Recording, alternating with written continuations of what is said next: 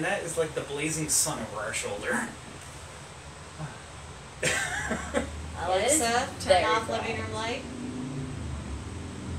I don't think she heard you. Alexa, turn off living room light. Okay. Ah, that's great. Now you can see us. I mean, it was spotlighting the unit. It was. See, guys, we do use technology as we're speaking to you on technology. Uh, yeah, technology. Looks like we're. Yeah. Our lighting game needs work. Yeah, well, that involves purchasing like real lights. Shall I get us ring lights? I have ring lights at home. We have a ring light. A. A ring light. One, I have two. one small ring Your light. show will go live in five seconds. Four, I use them for my headshots. two, one. We'll see. There we go. Log Talk Radio. Alright, so now we are live on Facebook. We got our friends with the Vibe Radio Network, and yeah. Go ahead. Hi, radio people. Good evening, everybody. It's been a very, very long time since we spoke to you. One week. One whole week. Uh, and yeah, this, uh, this, This Getting- gets us back on schedule. To be fair, it is a very long week. it, yes, It was. it was. It and, was. uh, but yeah, getting this uh, show ready for y'all tonight was a bit of a crunch. So, uh, I did not include a story in Phoenix, and so Chris had to go hunting. you didn't need Oh, to. yeah. You didn't need to admit to that. So, Yeah, I sort of do feel like Phoenix definitely needs a. If we're, if we're going to talk about Arizona, we kind of need to throw Phoenix in somewhere. Oh, So- are we talking about Tombstone? Actually, we are not. How dare you? What? he- Did we do Tombstone? last We week? did. I did the bird. Yeah, the bird cage. There's Yeah. still more. I Oh, know, yeah, there but, is. But we have, we have touched on Tombstone before. Yeah, but like, it's Tombstone. Yeah. I mean, when we get to be like, I've got a It's in the two- name. I've got a parts two script started. uh, Yeah, but Once, once we get to where we are, which we gotta be, I, don't, I have to count. We gotta be rolling up on like hundred episodes. Um, yeah, you, we you need What are we gonna do on our hundredth Uh, I have no idea. Uh, let me see. face reveal? Sure, let me just pull this off. Let's see. Our channel. We have. It's not gonna tell me. That's ridiculous. Come on. Oh. So while Chris is counting, um, this coming Friday is our brand new tour coming out, uh, Shades Inspectors of Court N. Uh, so yeah, if you want to check that out, that's going to be awesome. Our fabulous tour guide Zoe's going to be giving that one. Uh, I'll be giving it later in the month, but she, uh, they are going to be doing the first one. So Oh, no, actually, we got a little ways to go. We're. This makes episode eighty-eight. 80. Oh yeah, So- we have some time to Yeah. plan. Um, get streamers. Yeah. Yeah. so we, we, we, we should hit. Oh, you didn't like that noise. We should hit 100 by the end of the year. Guessing. Probably Probably. ish. It'll be close. It'll be close. Anyways, anyway, anyway, anyhow, yeah. Tonight we are here to talk about Arizona. So um, it's a, a state that you have some familiarity with. Yeah, I lived in Arizona for a year. Yep. So uh, not in a place that we're going to be talking about. Uh, you lived. Well, we've already talked about where I lived. That's right. Which London Bridge. London Bridge, Lake Havasu City, Arizona. They, they did in fact buy the actual London Bridge in London and took it apart and reassembled it there, and then London built a new London Bridge. And well, apparently a couple of the ghosts came with. So, So, and as I only just found out, like in the last month, contrary to popular belief, they like to say that the guy that bought London Bridge thought that he was actually buying Tower Bridge. Mm-hmm. No, which is not true. He it's really true. did know which bridge he was buying. he knew what he bought. They just like to spice it up a little bit and say he bought the wrong bridge, but and they, it's still a It's pretty a fun little thing to say. It is, and it's Especially as Americans, we love that stuff. yeah, and uh, London Bridge still is. It's, I mean, it's a pretty bridge. It's a nice bridge. Yeah, it's a nice bridge. Nice bridge. But yeah, so um, yeah, we're we are here to talk about Arizona. Uh, and uh, no, we, we are not going to be touching on Tombstone because we've done that before. Uh, we're, we, we already did London Bridge. Um, we might on a future episode may manage Cowboys? Cowboys. to Cowboys. Cowboys? We talking about cowboy ghosts? Uh, Have we done that? Miners. We got That's miners. not the same. No, it's not. Not even close. I know, but. Oh no, I meant like as an episode. Wait, oh, we haven't done an oh, exclusive. as an episode. No, we have not done an episode on cowboys. That's very specific. Guys, I'm like. Well, yeah, it's very. Spe- we did a show on pirates. I feel like cowboy ghosts are n- not as specific. And like by cowboys, obviously, I kind of mean like outlaw, like you know, Wild Villain. West Okay. heroes. There You're we al- go. You are. Wild Also, West villains and heroes I could probably do. you're also talking about doing a show for Columbus, Ohio. There's a lot of spooky stuff in Columbus, Ohio. Let me just tell you. I feel like Ohio deserves a win, but at the same time, they really don't because they're still Ohio. I mean, it, I like dove down this rabbit hole and I got stuck in Columbus. So. I Of cannot all tell you. I got stuck in Columbus. I have like 15 stories from Columbus. But anyways, All anyways, the Ohioans that Yeah. are listening, I'm sorry, but you know it's true. we, we're, we digress, and we actually have we, people are starting to tune in. We got like ten people. All right, Oh, so let's wow. Yeah. Time to go. I don't know where that came from. We were like one, like We're popular, boys. And, and Patrick. Hi, Patrick. What's Good up, evening. Patrick? Got Patrick chiming in. So, uh, yes, anyways, Arizona. Landscape. Marvelous. Absolutely beautiful to behold. Scorching deserts, plunging canyons, forest covered mountains, all of which bear stories stretching back centuries. The history and culture of this land is just as varied, with people coming from near and far to seek out their fortunes, some adventure, or perhaps a little solitude. Whatever has drawn people here in life may still do so in death, as the spirits of Arizona linger, just waiting for their tales to be told. Plus, they have vortexes. Yes, plus they avoid taxes now. No, no, they have vortexes. Vortex. Vortex. Circular Vor- or energy vortex. Vortex. I have no idea what their tax situation is. No. You, you lived there, you would know better than me. No, vortex. Vortex. Okay, but now the tax taxes. Yeah, no, we're not going down that tangent. That tangent stays closed. All right. We're going to start our evening with a stop in Flagstaff, which is in north central Arizona. It's a relative newcomer to the Arizona landscape. Flagstaff was settled in the late 1800s as lumberjacks, railroads, and outlaws flocked to this corner of the state. Their arrival set the stage for colorful tales and dark hauntings that would be spoken of for generations to come, bringing us to our first stop, the Hotel Monte Vista. Standing above the corner of Aspen and San Francisco streets, the Hotel Monte Vista stands just off historic Route 66 as a notable landmark in the heart of historic Flagstaff. With nearby mountains and canyons, the Hotel Monte Vista is an ideal, ideal place to relax while exploring the natural wonders that northern Arizona has to offer. When tourism was on the rise in the mid 1920s, Flagstaff residents realized that they were behind the curve in greeting visitors to their city. The existing hotels were old and outdated, and the need for something new was abundantly clear. Fundraising began in April 1926, and within one month, investments of prominent citizens and funds donated by novelist Zane Grey totaled approximately $200,000. I love that name, Yeah. Zane Grey. Yep. Oh no, he's Colonel Potter's favorite. I know, but he, he's Uh, right. But I, I just love the name. I got to shoehorn Nash in. So, but this was enough money. Two hundred thousand dollars was enough money for them to break ground on a state-of-the-art hotel. I wish two hundred thousand dollars would. This would be a state of the art hotel. Uh, yeah, It would be. almost two. Uh, but in addition to the 73-room hotel, the structure would also hold a local post office, the Monte uh, Vista Cocktail Lounge, uh, and the Co- uh, Coconino Sun newspaper offices.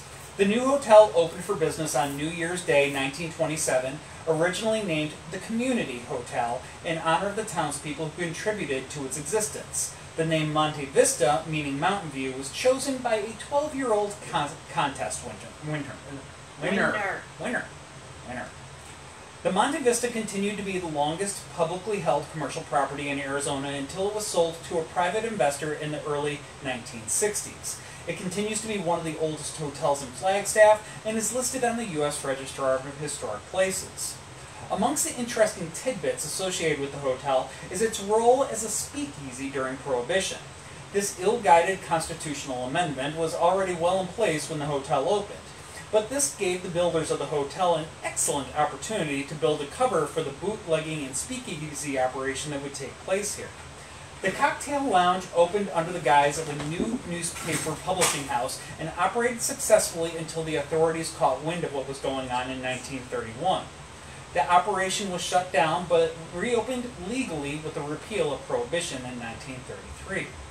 Then there are the underground tunnels that connect the Monte Vista Hotel with numerous other locations across Flagstaff. These tunnels were already in existence when the hotel was built, having been excavated by Chinese immigrants in the early 1900s. The tunnels start down by Northern Arizona University and wind up across downtown. The immigrants built the tunnels in response to persecution that they were subjected to in the wake of a fire that was blamed on their cooking practices. The tunnels allowed the immigrants to move about the community without harassment, though the existence of the tunnels drove further suspicion and resentment as they became uh, as they became known as a refuge for illicit distilleries, opium dens, and gambling houses. Today, what remains of the tunnels is mostly used to run utilities and for storage by attached businesses, including the Monte Vista Hotel. On a less mysterious note, the fame and comfort of the Hotel Monte Vista has drawn many of Hollywood's elite for generations, including Jane Russell, Gary Cooper, Spencer Tracy, John Wayne, and Bing Crosby, many of whom were here to film westerns in the 1940s and 50s. The hotel has also been used as a backdrop for some notable movies, including Casablanca and Forrest Gump. Cat trade. With so much going on and such a colorful history, it should come as no surprise that the Hotel, Hotel Monte Vista has always been known for rumors of the hauntings. As a matter of fact, the hotel embraces this aspect of their heritage. You're welcome to chat with the staff about any of the stories that they may have to share. Until you can visit there, though, we've got a sampling for what you might expect at this haunted establishment. In the early 1980s, room 220 was inhabited by a long-term boarder with a very bizarre and unsettling habit. For reasons unknown, he would hang raw meat from the chandelier in his room. Despite this unusual tendency, he was allowed to stay on in the room until his eventual death. When it, he was found, it was estimated he had passed away three days prior. Not long after this boarder's death, a maintenance worker was working on a few repairs. When in need of a new fixture, he left the room, turned off the lights, and locked the door. Returning only a few minutes later, he unlocked the door and entered the room to find the television at full volume, the bed linen shredded and scattered around the room, and today, well, it's common for the television in that room to turn on on its own accord, and guests will sometimes report feeling a cold man's cold hands touching them in their sleep. Somebody else wanted to be touched. Hi. Sorry. Moving uh, over to room 305, we find the space that many people believe to have the most paranormal activity in the hotel. Many people have seen a ghostly woman in the rocking chair near the window, or have even seen the chair move on its own. There have been reports of knocking sounds and ow, not biting, knocking. Rude, sir. Anyway, knocking sounds inside the closet, which is always empty when the space is investigated. Records show that the room was used by an elderly woman who was a long-term boarder at the Hotel Monte Vista. She would sit in a chair by the window for hours on end and had a habit that she seemed to be carrying on after her passing. Moving, of course, to the adjacent room, 306, we have a story that dates to the days of when Flagstaff's red light district could be found just a couple of blocks away from the hotel. In the early 1940s, two ladies of the night were brought to room 306 for what they thought would be a typical trick. Unfortunately, during their visit to room 306, they were killed and thrown from the third floor window to the street below. Over the years, guests have reported being wakened in the middle of the night and unable to return to sleep due to a feeling that they are being watched. Many of the male guests endure the feeling of having hands placed over their mouths and throats and awakening unable to breathe. So yeah, you don't want that room, Patrick. The spirits are not limited to one-time visitors or guests of the hotel, since some of the spirited staff members seem to linger on as well. Hotel guests have reported a knock at their door and a muffled voice announcing room service. Oftentimes, when guests open the door, they find the hallway empty, but some guests have opened the doors to find a young bellboy standing outside room 210. Even John Wayne encountered this entity during some of his stays at the hotel. But he noted that the presence felt friendly, unthreatening. Living staff members have sometimes seen him as well, noting his old-fashioned red coat with shiny brass buttons.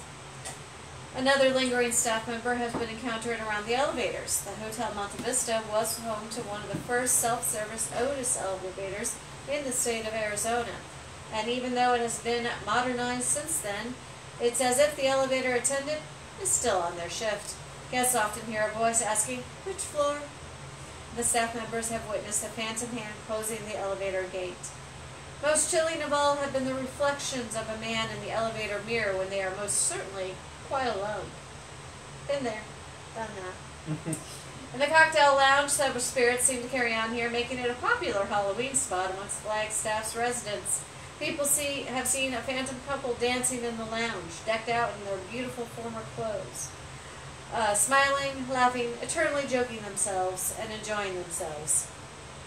Aside from the dancers, people have also seen bar stools and drinks moving on their own.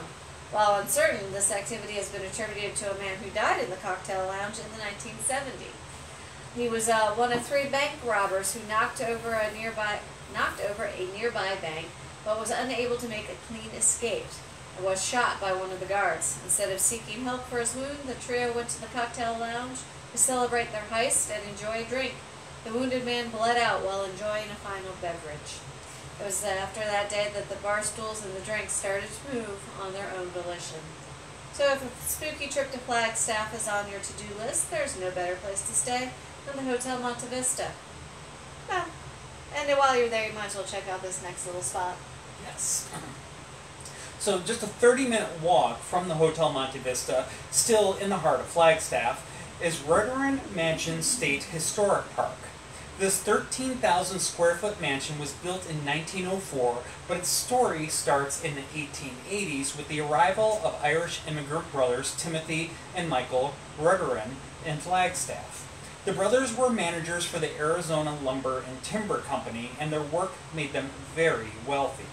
Much of this wealth was turned to the benefit of the community as they advocated for educational facilities such as the Normal School, which grew into Northern Arizona University. Mm-hmm. They also recruited the Lowell Observatory and the Fort Valley Experimental Forest Station to set up in Flagstaff, institutions that remain prominent in Flagstaff today. Their wealth and prominence also helped them land their wives, Carolyn and Elizabeth, the Metz sisters. Yes, the brothers married sisters. So, More common than you think. Yep. So it happens. The tight knit families built the Riordan mansion together, and each couple lived in one wing of the 40 room mansion. That's really kind of close. But, anyways, this arrangement carried on for decades, till 1943 when Carolyn passed away. As legend goes, the Riordans always kept a light burning in the chapel at their home.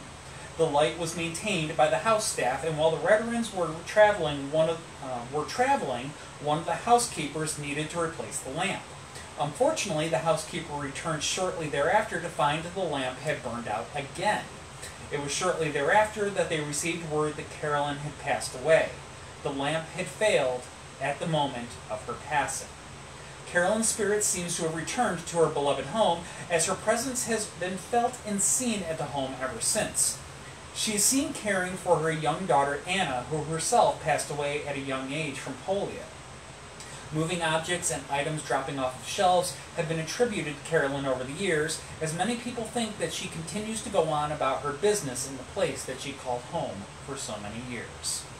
So, kind of a really, it's an interesting place. Uh, it was, uh, um, you know, this family home for so many years. Uh, when the Riordans did eventually move out, um, another uh, individual, you know, kind of snapped it up. But then uh, it wasn't long. I think it was in the 1960s that the estate got donated to the state and winds up becoming the state historic site. Yeah. So, yeah, really kind of a neat place. Um, if you get there, you can go ahead and check it out. But with that, Yeah. while there is certainly much more that we could talk about in Flagstaff, Oh, there's a lot more. there's a lot more, but we do have a lot to ground to cover tonight. And if you do notice anything glaring that is missing from the episode, we Besides Tombstone. besides Tombstone, we do uh, we do already have a uh, Arizona Part Two script started that we will share sometime in the future. We got a lot of material to cover, but Uh, yeah.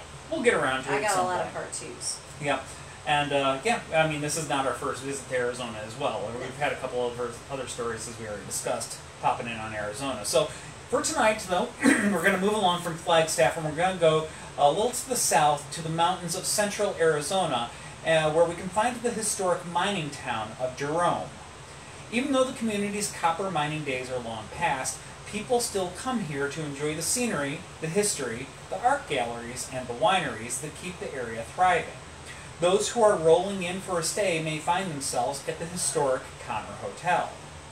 Built in 1898 by David Connor, the Connor Hotel has a colorful past ranging from the heights of luxury to the depths of squalor and back again. Originally designed with 20 rooms upstairs, this first class lodging establishment also offered a barroom, card rooms, and billiard tables on the first floor. This establishment was on the cutting edge of luxury and amenities at the time of its construction, so much so that its original telephone number was 8. Just 8. Nice. Dial 8 for the Connor Hotel. That said, before the turn of the century, David Connor's hotel had burned to the ground twice, along with many other fine buildings in Jerome's crowded downtown. David Connor was fortunate in that he was one of only two business owners in the town to carry insurance, in the handsome, handsome amount of $14,500. As a result, he was immediately able to rebuild the hotel, unlike many other buildings lost to the fires that swept Jerome before the turn of the century. After it reopened in August of 1899, it enjoyed the distinction of being one of the finest lodging establishments in the booming mining towns of the West. The hotel had its own bus for delivering guests to the train depot and was fully booked much of the time. Though the hotel was too expensive for the ladies of the night to use their uh, to use for their customers, there was a false storefront located at the west end of the building, which opened to the infamous Husband's Alley, where the ladies had their own cribs to entertain customers on the street just below Main Street. I love the husband's alley. It's just like the husband's walk in Can. Yep. So we will uh, touch on this again in just a little bit, but before we get back to that, um, time did go on, and the fortunes of the mines did eventually wane, and so waned the fortunes of the Connor Hotel. In 1931, the hotel closed. David Connor's son and heir continued to rent out the shops downstairs, but the rooms sat idle upstairs. Through the ensuing decades, various merchants renting space in the Connor eked a living out of the dwindling residents remaining in Jerome. When the mines closed in the 1950s, the town came close to becoming a ghost town. The remaining merchants shifted gear to try and make a living from the scant tourist traffic wending its way through the formerly, formerly bustling town. In the 1960s and 70s, Jerome was discovered by the hippies. Hmm. Hippies to the rescue. They opened artesian shops selling everything from candles to pottery to stained glass. The growing art scene drew in more people, and the town of Jerome was saved, along with the Connor Hotel. The Connor Hotel was a far cry from its previous luxury.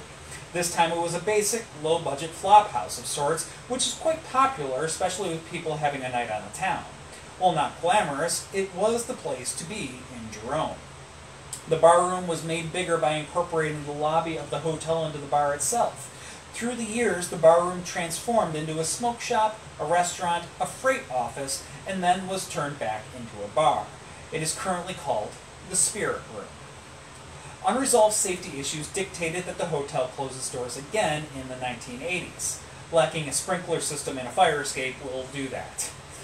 In 2000, new ownership took on the challenge of renovating the hotel, bringing it up to current safety standards, and renovating the rooms to their original splendor, plus some other modern perks of, that people expect today. While Jerome narrowly avoided becoming one of the West ghost towns, it has latched onto a legacy of hosting ghosts. The town's checkered past is ripe with material to give it a spooky reputation, including some haunts at the Connor Hotel.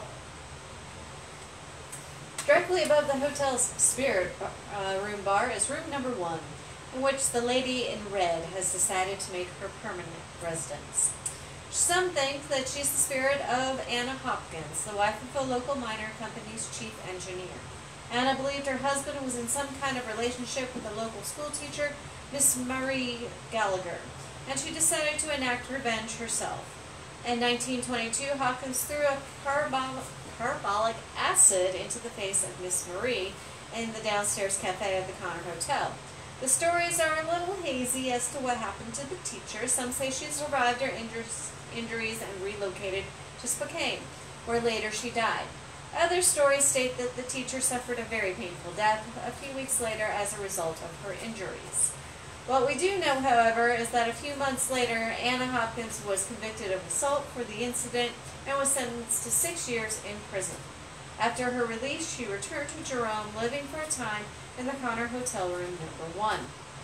Guests in room number one will hear a woman whispering in the room, sometimes accompanied by an unsettling scratching noise. Others have awakened in the middle of the night to a feeling of cold, almost suffocating weight on top of them, almost as if someone is trying to hold them down in bed. This was too much for one man who fled from the room and stayed by stayed the balance of the night in his van. The lady in red got her name for after appearing to a number of unsuspecting visitors in the spirit bar, witnessed her make one of many visits to the space below the room where she resides. Even if you don't have the opportunity to see into the spirit yourself, you can of course see a painting of her. An artist who stayed in the room kept seeing the lady in red in his dreams. He painted the large mural found above the bar in the spirit room, including his vision of the lady of red.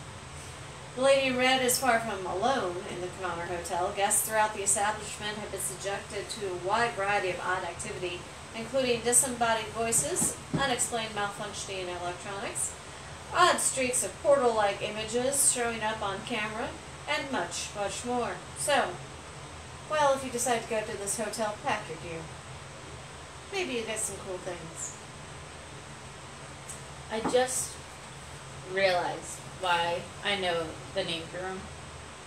What's that? first, first reason that I know the name Jerome. My little sister calls me one day while she's in Arizona visiting my aunt. She says, "I went to the most boring town today." Secondly, So she's not into the hippie art thing. she didn't love it. Um, secondly, I hate this.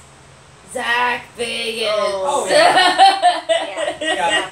He's been a couple of times. Oh yes, and I think He's been to that hotel. we, we're yes, he has. Yeah, we he went to that uh, we skipped that part. we, we we did not we skipped that part, but yes, he's he's actually been to a couple of the locations that we're going to be talking about tonight. I mean, naturally, from what I understand, it's a very boring town.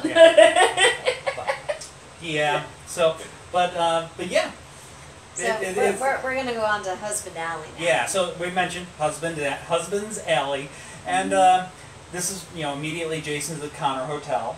Now, is was was Was. it's not really a thing anymore. But in any case, at one point in time, ladies of the night could be found throughout Jerome. When brothels were located right next to saloons and women could walk through the town to advertise their business. Eventually, these ladies and their trade were relegated to the back streets in out of sight, out of mind places that came to be known by thinly veiled names such as Husband's Alley. Such work in towns like Jerome operated on a hierarchical, hier- Hierarchy. hierarchical hierarchical scale. Hierarchical scale. Big words. Lots of syllables. And You're off he's for a while. halfway through his drink. Yes, I am. He says, I'm so proud. Uh, It's better than last week. yes. yes, it is. At the high end of the scale were classy ladies who worked in brothels operated by madams who had a relatively cushy job. They often only provided expensive companionship for lonely men living in a town almost devoid of women, and had access to healthcare, security, and education. At the low end of the scale were women working in the cribs, who somehow managed to see 30 to 80 clients a day. Oh. It was an immensely difficult mm. job that had no guarantees of safety, and many women who worked in the industry succumbed to the illnesses or violence associated with the job. There were many stories about the horrors that these sex workers endured, and history just barely remembers a few who died at the hands of their clients. One case was that of Sammy Dean, whose spirit you'll find wandering Husband's Alley. Sam, Sammy Dean was born in 1892 and found herself working in the brothels of Jerome at some point in the late 1920s. On the evening of July 10, 1931, after multiple people searched for her, they found Sammy lying on her bed, strangled to death. The murderer was thought to have been a client of hers or a boyfriend, but no one was ever questioned or charged with her murder. Years after her death, reports began to come in of the sight of a beautiful woman wandering around her husband's alley looking for something or someone. Many believe this is Sammie Dean looking for her killer alone in the streets where she once worked.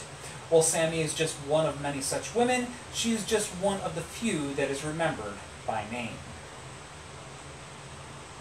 Alright, so we're gonna move over to the Jerome Grand Hotel. Um, it's a quarter of a mile away on top of Cleopatra Hill, and uh, it's an imposing five-story Spanish mission style structure. The Jerome Grand Hotel was originally built as the United Verde Hospital in 1927.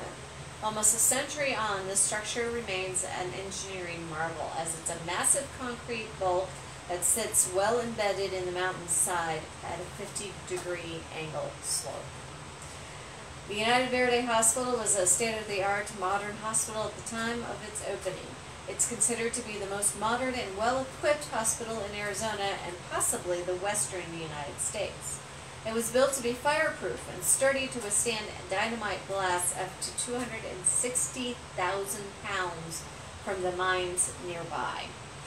When it closed in 1950 because of a dwindling mine ac- activity, it was kept up to snuff as a hospital just in case it was needed as an emergency. Eventually, the time came when it was clear that the old hospital would not be needed again. Other medical center, centers had popped up in nearby communities, and the United Verde Hospital was unneeded and obsolete. As Jerome eventually became to be a thriving tourist destination, it was determined that the massive building on the hill had potential for other purposes. And in 1994, the building was bought by the Phelps Dodge Mining Company by the Al- family. After extensive renovations, the Jerome Grand Hotel opened its doors in 1996. Because it was taken care of for so many years and built to last, after the renovation, it can be said that the hotel is the best preserved building in Arizona. The upper floors of the uh, house the guest rooms, and the bottom floors of the uh, house the lobby, the gift shop, a high-end restaurant, and the hotel kitchen. Walking into the lobby is like walking into the 1920s era. The charming 1926 Otis elevator, which serves all five floors, is the- oldest original self-service elevator in Arizona. And the atmosphere might inspire you to go digging into the closet for that old flapper or dapper pinstripe suit. It's a kind of place where the has a certain spirit of its own. The building has long had a spooky reputation with ghost stories dating back to the hospital days.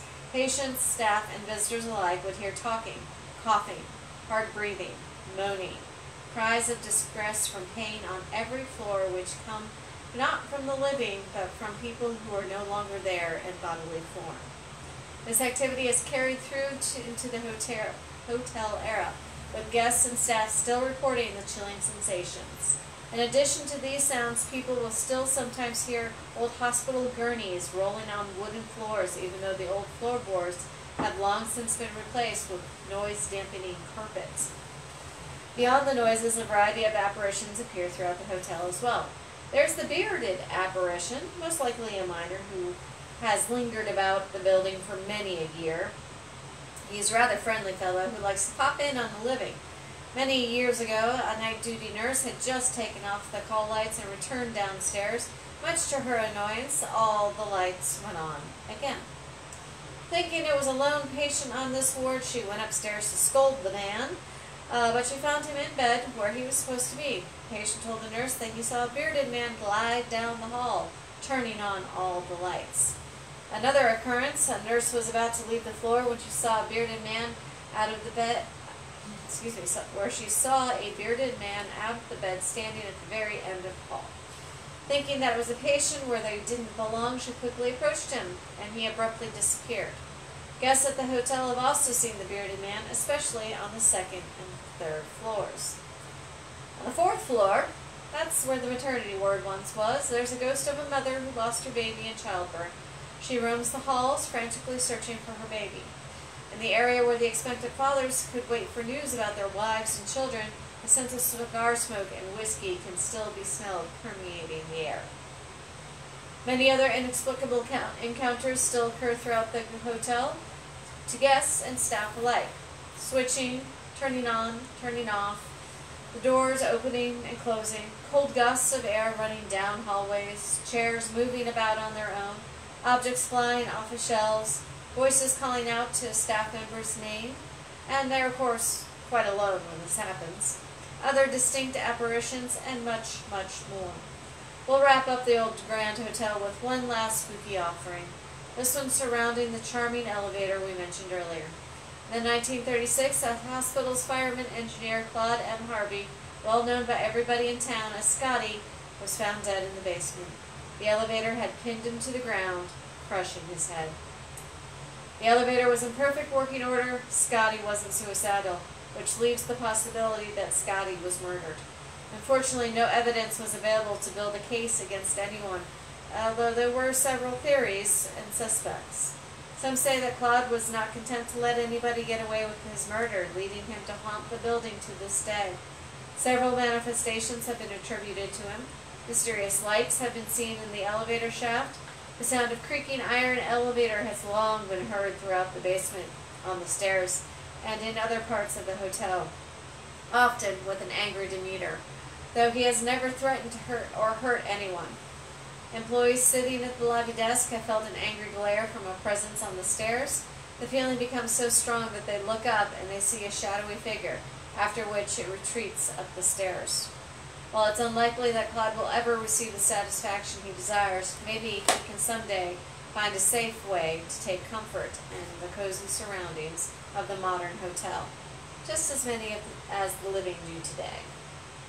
It really is kind of a it's a fascinating place, perched up there on the mountainside Yeah. like it is. Buddy, I'm sorry, I gotta move my foot. it's tingly. So oh. Before we stray too far from the subject of the United Verde Hospital, let's note that the hospital was built to support the activities of the United Verde mines that formed the economic backbone of the community for many decades. The jobs provided by these mines were both lucrative and extremely dangerous.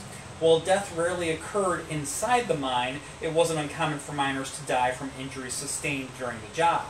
These usually occur on jobs associated with explosions, but any injury that involved something like leg amputation would probably result in death a few months later after, after infections invaded the body. That said, men did die in the mines, and for many of them, when this happened, it sometimes became their final resting place.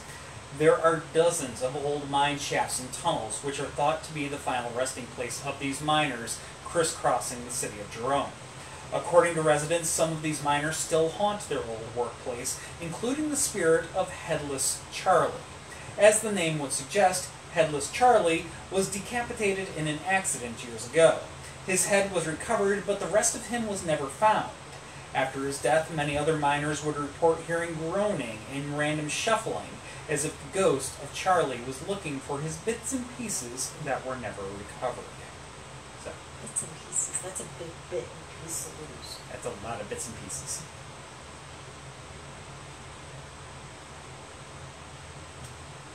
Didn't say that all the bits and pieces would be in one place. That just saying. Anyways, we will move on from Jerome. Prescott. We're gonna go to Prescott. Yep. A little to the east, city of Prescott. Uh, in the heart of the city's historic district, we can find the Palace Restaurant and Saloon. Good chance you've probably heard of this place. It's been featured on quite a few shows. The Palace Restaurant and Saloon was built soon after the town of Prescott began to build structures for its downtown area in 1877. What was needed was an upscale saloon that was decorated tastefully and lavishly. It became the most popular watering hole for all classes of folks in Prescott. Miners who came to town to relax and spend their earnings enjoyed the beer, the gaming opportunities at the tables, a good meal, and a roll in the hay with a pretty lady of the night. In the 1870s, Wyatt Earp, Virgil Earp, and Doc Holliday came to drink at the Palace Saloon while they rested in Prescott before making the journey to Tombstone. There's your mention of Tombstone for the evening. Wyatt and Holliday saw some action in Prescott, a precursor to what they would experience in Tombstone, such as at the OK Corral. Wyatt Earp was involved in several gunfight fights behind the saloon, killing two men. Holliday also killed a man in the saloon during a knife fight. Of course, it was a rough era, era in a rough part of town before strong lawmen had control of the rowdies. Disaster hit in 1883 when a raging fire burned down the saloon. Not to be defeated, the owner, Robert Brow, built a grander version of the Palace Saloon in a smarter way to deter fires. This grander new saloon had a stone foundation as well as brick walls to help prevent another burn down. What was added was a magnificent hand-carved oak or solid oak and cherry wood bar that was a glorious piece of furniture and a magnificent addition. The Palace Saloon became even more admired and loved by the drinking community. In the basement, there were dens for those who enjoyed smoking opium. The basement was connected to tunnels that ran under the street. These contributed to illegal vices banned above ground. Eventually, prostitution was outlawed and mining ceased. But the people who ran the Palace Saloon found that tourists and vacationers made up for the financial slack. Tourism dollars supplanted the financial support the businesses received from the locals, or supplemented the financial support the businesses received from the locals who still loved the place. During Prohibition, the traditional bar on the first floor stopped serving alcohol, but people could still get a meal. A speakeasy was set up in the basement for people who wanted their beer and to gamble in a card game.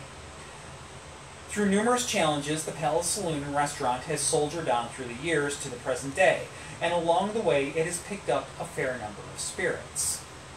First, we have Mr. Nevins. This spirit is still frustrated and angry at himself for losing his business in a card game. When people play cards, his unseen presence is drawn to the table, wanting to win back his mortuary, even though he can't participate in the game today. Some think that his bitterness makes him the spirit who throws glasses around. There is an 1890 photograph of the saloon area that appears to capture the ghost of a man standing near the gambling tables, believed to be Mr. Nevis. Then we have the lady, or ladies, known as Jenny and or Alice. It's a little fuzzy on this point. They have been seen both at the top of the stairs and floating through the first floor of the saloon. Much like Mr. Nevis, they are also very unhappy with their fates. Jenny was murdered, and Alice's fate was arguably worse. Kind of leave it at that. They have been blamed for objects that have been uh, that have fallen from the balcony, including a porcelain mannequin that would have put an awful hurt on someone if it had fallen on their head. They have also been looked to as the cause for messing up the buffet area, as if they are protesting people enjoying a meal where they suffered grim fates. The spirits at the palace maintain their mean streak with Fred Glover. He is believed to be the one responsible for the murder of the previously mentioned Jenny, but he never faced true justice for the crime. He was convicted, but instead of meeting at the end of a hangman's noose, he was released from prison after only five years. His activity has included pushing a plant from the top of the bar, nearly striking the owner, who was standing nearby. Before noting the next spirit, we should mention that these spirits and their associated activity, throwing certain things, pushing certain things over, this can all come across as very similar. Who do we know who did what? What has drawn the line between many of them uh, and many of the spirits and the paranormal activities is that a lot of paranormal investigations have been hosted at the Palace Saloon. It is renowned as one of the most haunted places in Arizona and is a major draw for investigative teams from near and far. And most of this information comes from evidence that they've gathered during these investigations, um, you know, electronic voice phenomena, all kinds of evidence that's come forth that has linked certain spirits to certain activities. So, That's That- how they sort it out. yeah. That said, we will note that this next spirit is much more on the pleasant side. Master Pastor is a happy presence who likes to make his presence known. He will frequently make himself known to the living on audio recordings, and he likes to stomp his cowboy boots and walk around the saloon. He seems particularly fond of the bar, leading some to think that he may be spiritually attached to the bar itself. One final spirit that we'll mention here is the entity in the basement. The negative energy in the basement of the Palace Saloon has been a menace for many years. It seems to enjoy instilling terror in the living and subjecting them to significant physical pain, making the basement a place where the living usually only spend a few minutes at a time. Fortunately, it seems to be unable to actually kill anyone. Some think that it's the spirit of a murderer, while others look to more demonic causes. Regardless of the cause, the basement is now a far cry from the bustling spot that it was in the speakeasy and opium den days. A spot that is generally only used for storage and is avoided by the living unless absolutely necessary. Sorry, I've got the case of the yawns right now. It's been a day, been a long it's been day. a long day. I got a lot of sun today, and that always wipes me out. All right, so we're gonna move over to Tucson. Uh, this is in south central Arizona, and here we got Little Abner Steakhouse, a roomy 5,800 square foot L-shaped brick building, along with the main drag. Excuse me, along the main drag that connects Tucson to Suburbia. It's a convenient location and encourages people to stop in for takeout on the way home, but it also draws in a fair number of barbecue lovers to dine inside. It's hard to believe that this modern restaurant uh, resides in what was once a Butterfield Express stage stop in the 1880s. When the trains replaced the stagecoaches, it became a cattle station. As 1947, it became Little Abner's when local obstetrician Larry Lewis and his wife Duchess renovated the building and opened the saloon, which was named after their dog. It was a perfect place for a saloon and an eyeglass store where he used prescriptions supplied by the ophthalmologist and our- or optometrist to make glasses for customers. In the years since, a series of owners have made gradual changes to Little Abner's, adding their own touches to the barbecue joint. Big things like more grills, more eating space, expanding the menu, and adding performance stages. The small things, like the Western memorabilia that decorates the original wood walls, hold license plates, graffiti, and paintings. The current owners uh, came into possession of Little Abner's. Well, let's just say it's a wee bit of a funny story. In 1965, local businessman Don Norman, uh, Norman, excuse me, purchased the restaurant. His twin sons, Mike and Mark, proved to be a handful while growing up, and they decided to go for easy money in the early 70s. They flew small planes full of smuggled drugs and marijuana to town, and then they sold out of the restaurant. Mike was convicted for his transgressions and sent to federal uh, penitentiary in 1975. They didn't learn their lesson after Mike was released in 17, uh, excuse me, 1978. Uh, the brothers began counterfeiting. They were both caught in 1979 when the FBI raided their stash of phony bills buried behind the restaurant. The restaurant had been sold in 1981 to pay the huge legal bills acquired by the miscreants. The family defense attorney David Hoffman fell in love with this special place and bought it after reviewing the restaurant's books. He quit his law practice and he and his wife Molly began operating the restaurant and bar. I love that the the the owner's lawyer's like, y'all are just idiots. I'll do what I can to keep you out of jail, but I'm taking your bar. Yeah, that's my favorite. um, so in uh, 2015, they hoped to sell their beloved business, but it took off, uh, was taken off the market when son Tucker showed an interest in running it. As of 2022, the restaurant is still going strong, and the Hoffman family is still the owner. All that said, it's an interesting spot in Tucson with a couple of spirits to go with their menu full of tasty options. One seems determined to make the most of being a spirit here, and one is on a mission that they felt compelled to accomplish before they could rest. When Larry Lewis had his optitri- op- Opticians. optician's office in the area that is now the kitchen, someone misplaced a customer's glasses, causing great annoyance for all concerned, especially the person in charge of managing the eyeglasses.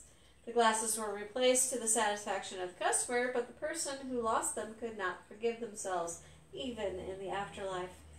It's in the years that followed. It seems that an entity will rifle through the cupboards, making a mess out of the things while they search for the glasses that can never be found.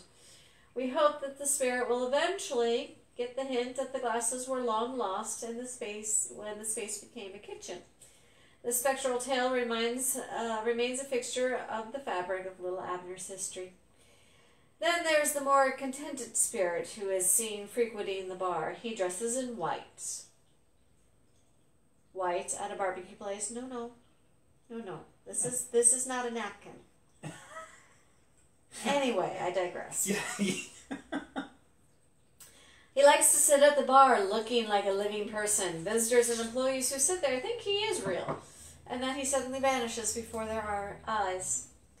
At the bar, he's seen drinking milk or a large Coke. He seems to like Captain Crunch cereal, and he's frequently crunching away on a bowl of the stuff. They'll see him and hear him crunching away on Captain Crunch. It is. I love that detail. A ghost that sits there eating Captain Crunch. Kind of reminds me of Big Julian from Guys and Dolls. Mm. Yeah. Guess Yeah. we know where he went. Yeah. I, I personally was never a real big fan of Captain Crunch, but kudos to this gentleman Yeah. eating eating Captain Crunch at the bar in the afterlife. There's Yeah. there's worst face, worst fates. He likes to say hello by startling people in a fun way. Employees working near the bar have heard a disembodied voice calling out their names. After hearing something move behind the bar, a patron was enjoying her meal, and she suddenly screamed after seeing the spirit, a huge one of a veteran waitress from behind. Owners think that this is the lingering spirit of a former maintenance man named George. Uh, even though he's passed, it's nice to know he seems to be content with hanging out in his former haunt in the afterlife.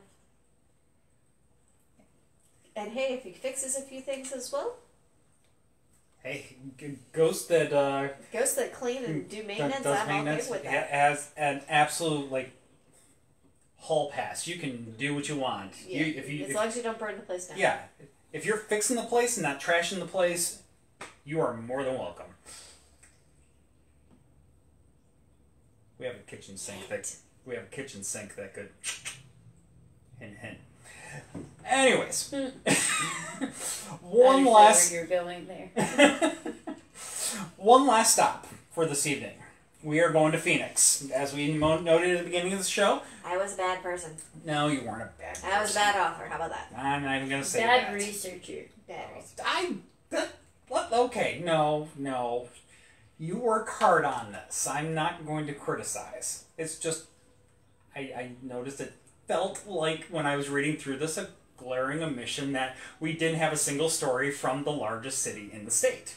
It's also the only other city in the state that I know other than Tombstone. Yeah. Well, bear with us just a second. We're about to have the. Uh, Oh, nope, they turned a different direction. Our friendly, uh, our Fire- friendly neighbors at the fire department were Had a making, call. were making a little noise outside. I heard our friend Lee, and I'm like, no, our, fr- right our friendly neighbors. Friendly, neighbors. friendly. Anyways, There was a big pause there. so we are going to go uh, uh, to the Orpheum Theater. Now, if you've heard of Orpheum Theater before, you need to make sure we're talking about the right one because there's There's actually a lot of there's them a lot of them all across the country. They were kind of sort of somewhat a chain. That's not something I'm going to get into here in detail, but let's just say that if you've heard of Orpheum Theater before, you may have heard of it in a different city. Quite possible. So, anyways, the one in Phoenix opens its doors January 5th, 1929, and it was at the leading edge of entertainment. It was a prime vaudeville performance venue, and it also brought the new talkie films to the Phoenix uh, Phoenix community. In the years that followed, the Orpheum would change with an evolving community, new owners, and new forms of entertainment. It did a stint as the Paramount after being purchased by Paramount Pictures in the 1940s. In the 1960s, it was purchased by the Nederlander organization to add to their portfolio of venues that would feature traveling Broadway shows, and was renamed Palace West. From the mid 1970s through the early 1980s, it was leased to the Corona family, who used it as a place to highlight Hispanic events and movies. Unfortunately for the aging theater, at this point, maintenance was a low priority and it started to fall into a state of disrepair. In 1984, the city of Phoenix stepped in, purchased the theater, and began an ambitious restoration campaign that lasted 12, 13 years. It's 1997 now, and the Orpheum Theater is back. Uh, stepping into the theater is like stepping back in time. The atmosphere and fixtures are much like they were when the Orpheum first opened in 1929. The lobby is dominated by ornate details that are carved into the doors, walls, and ceilings, all bathed in the warm glow of the chandeliers. Ever since its reopening, the theater has served as the official home of the Phoenix Opera and has also hosted a variety of concerts, Broadway shows, and many other special events. With such a varied history and such a beautiful atmosphere, the theater was bound to have some guests and performers who would never want to leave. The theater's most famous and prominent spirit is known as Maddie. This little girl spends most of her time on the balcony and she does not tolerate people who might be inclined to talk through a performance. She is frequently seen by visitors and has been known to tap people on the shoulder and to shush them if they get a little too chatty while in her space. She has also given a terrible fright to some of the performers who's graced the stage. In one instance, less than 10 years ago, a group of acrobats were in the midst of their performance, and on five different occasions during the performance, five different acrobats stopped in the middle of their act, pointed to the balcony, and screamed. What each of them had seen was a woman standing on the edge of the balcony and then abruptly stepping off. The acrobats thought that the woman was about to plunge into the seats below, but as soon as she stepped away from the balcony, she abruptly disappeared. The identity of Maddie isn't known, but the theory is that her behavior reminded someone of a friend or relative named Maddie, and that the name just stuck. There otherwise is no record of a Maddie or an individual with a similar kind of name in relation to the history of the Orpheum. Other specters at the theater include a man that lingers about the manager's office, right above the theater's marquee sign. Many think that this is Harry Nance. Many of the found, or one of the founders of the Orpheum Theater who put a lot of personal passion into the landmark and into the community as well. Nance would pass away under mysterious circumstances in 1953 in what was officially ruled a suicide in his apartment just a couple miles to the north of the Orpheum Theater.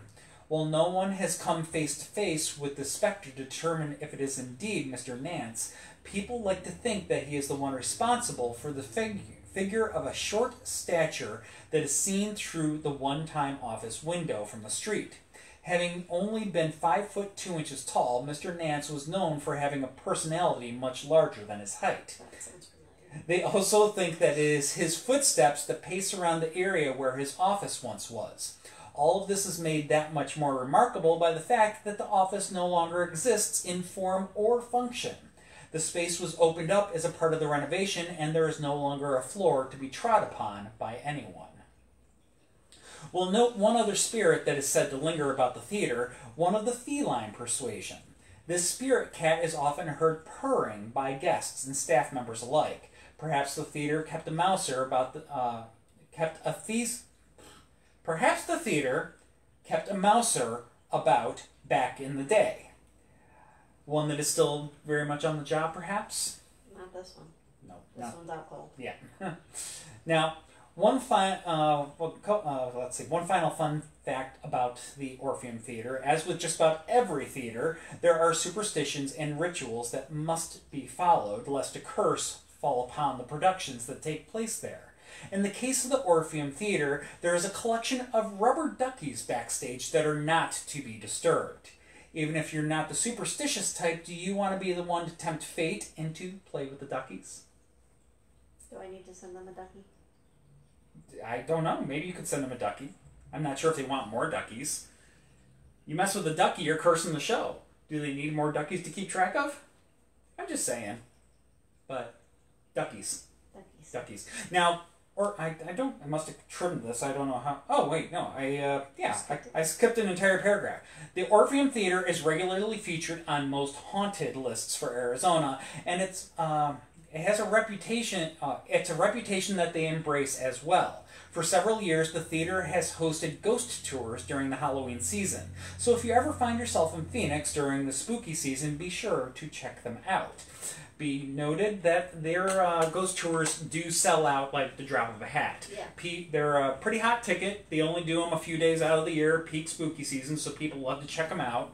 Um, and they will share ghost stories that you did not hear tonight because I, I give them a lot of credit. They keep their ghost stories very close to their chest. So, looking for some of the ghost stories from the Orpheum, what I found was like really kind of raking back some of the dark corners of the internet because they they are not out there. They're not published. They share them on their ghost tour, and they want people to come and take their ghost tour if you want to hear those stories. So, uh, kudos to them. Yep. So, but yes, that is our last story for this evening. We hope that you enjoyed our tales from the desert southwest. Excuse my yawning. I say desert, it's not just desert. Arizona, there's a lot of desert, but then they got mountains. They got like pine tree forests. There's a lot going on out there. It's kind of a pretty state. Yep. It is a pretty state. Except Jerome. Hmm? Except Jerome. I, I think I don't know. I the the the, the picture that I had for like our, our cover on this, it was it's a picture of Jerome. We're Richmonders. We are. We're Richmonders. And like from what I saw from Ghost Adventures, uh, Jerome and, and Richmond and Staunton look, look kind of kind of similar to me at least. Um, my little sister, she, yeah, she was raised here, but she's very much not a Richmonder. so perhaps the appeal wasn't there. Maybe it could be. But uh, Alex had a question. So, question of the evening. I, I, I like this this this new thing. Ooh, she- room sack. Yeah, there- uh, without giving away details, better experienced while in attendance, what are your favorite tours that you provide around RVA and why? Oh, my.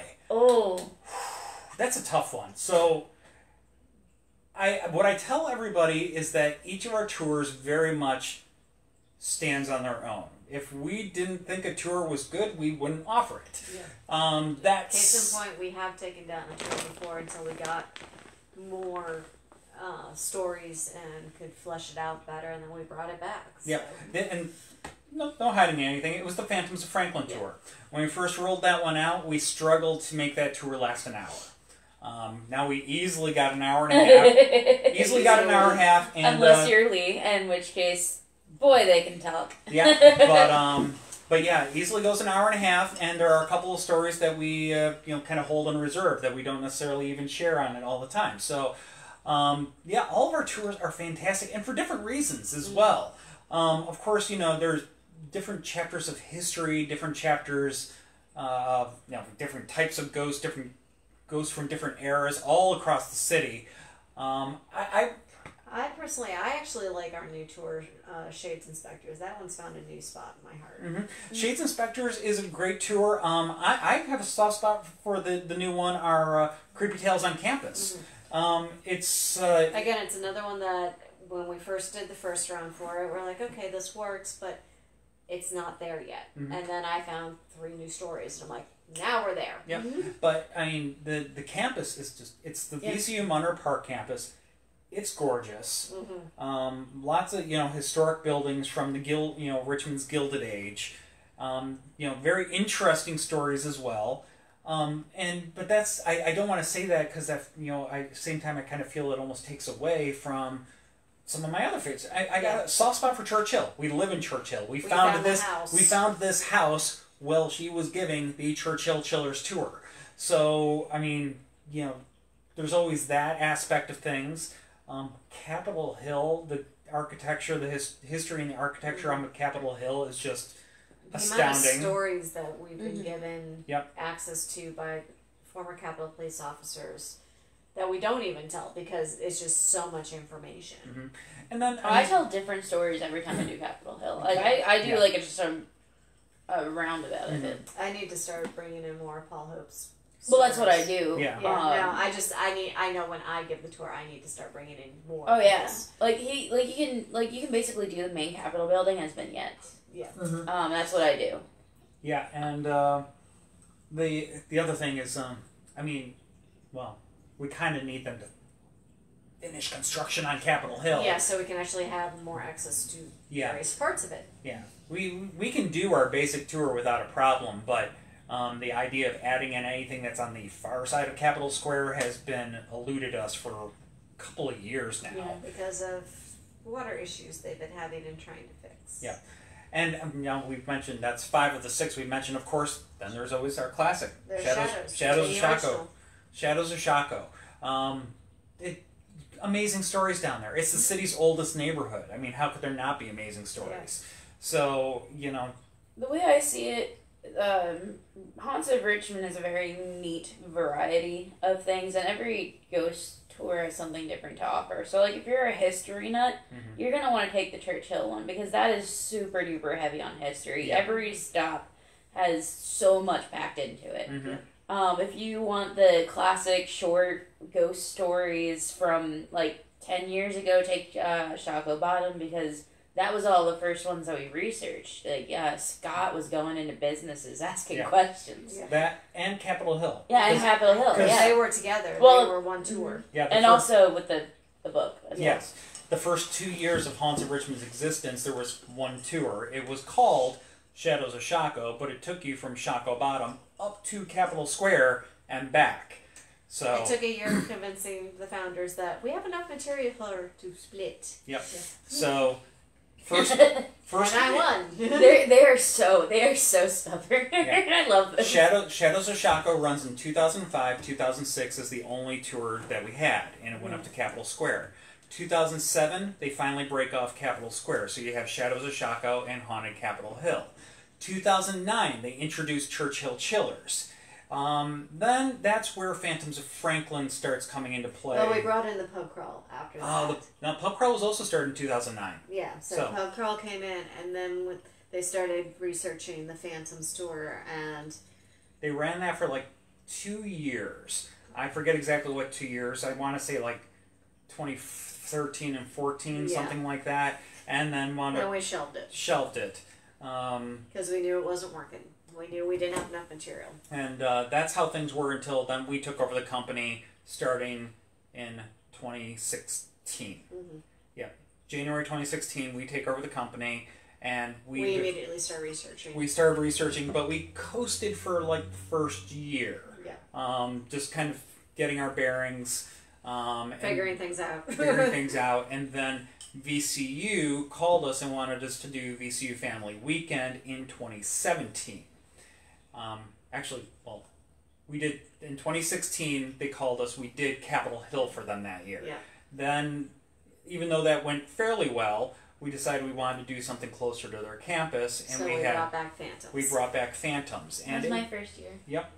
Yeah, and it, that worked out well because they weren't looking for a full like ninety minute tour. They were looking for something that ran about an hour, and we hadn't fully fleshed out Phantoms yet. So, perfect, perfect fit. We did Phantoms of Franklin for them, um, and uh, we did actually we we continued doing the research. We brought back Phantoms of Franklin as a full fledged tour once we had some more stories, and. Uh, then we decided that we wanted something even closer, really, to VCU's campus on VCU's campus. So, we Creepy Tales on Campus. Creepy Tales on Campus, which we launched this past October, and then um, in part with our partnership that we have with the John Marshall House, that is when we um, fleshed out Court End, and now we offer the starting Friday. We are going to start offering the Spirits and Shades of Court End. Not to the exclusion of the John Marshall House. We will still do Mhm. that sometimes as a special event, but um, yeah, In addition, so we got a lot going on. um, we are not on next Monday. No, we are two on weeks. the following Monday. Yep, so we're gonna get- weeks. back, get back on our normal schedule, back on the two week schedule. Mhm. And what is it in two weeks? So I, I got it right here. Now that I I rambled on for like ten minutes, but anyways, uh, Illinois. Hey, I've been there. Yep. We're doing a steak that I've been to, guys. Haunted Illinois. We're gonna oh, I have stuff. for we're you. We are gonna hit that in two weeks. on the nineteenth.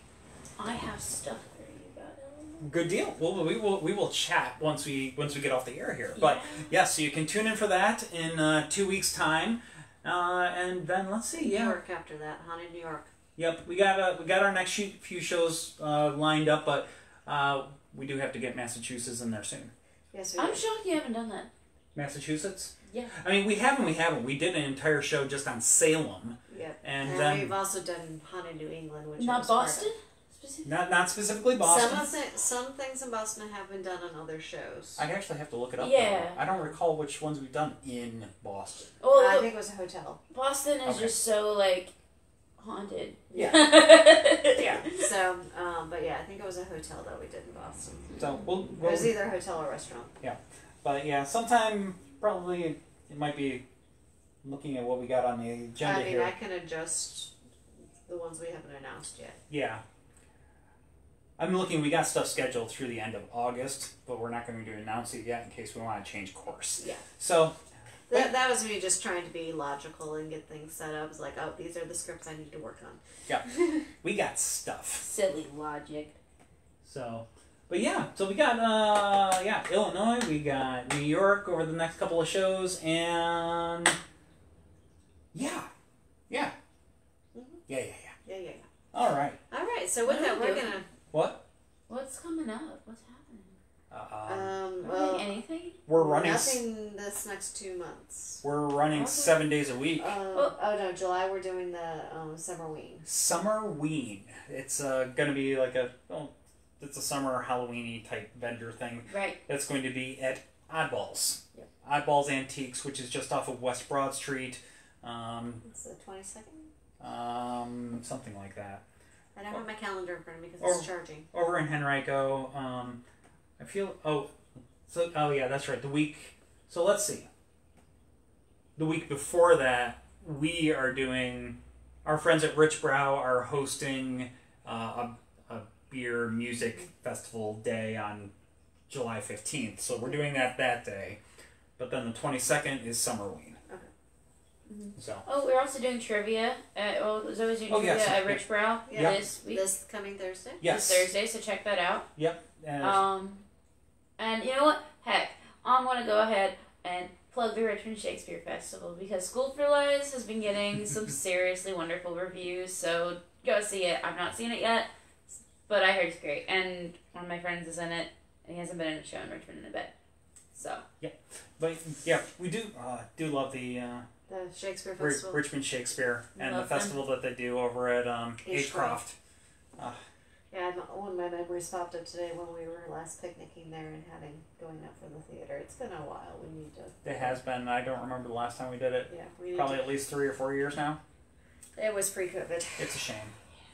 But well, yeah, COVID wiped out a year. well, next week, next next month is uh, comedy fairs. Yeah. Uh, right now it's School for Lies, um, which is a little more modern, but from what I understand, incredibly hilarious. Yeah. So. Oh yeah, Patrick, we've had the Richmond Shakespeare Festival out there for over twenty years now. Yeah, Yeah. It, it's It's Um, been going for it's a pretty while. awesome. yeah, but yeah. So yeah, if you ever want to check out Richmond Shakespeare, or is it it's Is it- Richmond Shakes. Shakes now. Shakes? Okay, Mhm. I was gonna say They've gone through a couple of name changes, but Yeah. now it's Richmond Shakes officially. they did what Quill Quill. for a little bit. Quill, Henry. Sh- okay, so the the really the big one was uh, Richmond Shakespeare and Henley Street Theater, Mhm. and then they decided to short it to Quill. Yeah, Quill, and now it's Richmond Shakes. Yeah. So yeah, but yes, Richmond Highly, Shakes. highly recommend going to it though. Yeah. I'm trying to think. There's always there's always something going on. It is It's some- festival season. It's festival Yeah, season, festival. so We- they just had the Greek festival this past weekend. Yeah. Pride is happening a lot. Yeah. Oh, uh, Poe Museum Pride on the last Thursday this month. is oh is that the, their second um, is that their on happy hour theme this month? Mhm. Oh, good for them. Museum Pride? Which we we should definitely try to make it. You're away. You're in Florida, It's like the and I'm running the show myself that week. You can you can go I in don't your think I'm free time. volunteering. I think I'm like just gonna be like popping in. I might be Um, collapsing with a beer that night.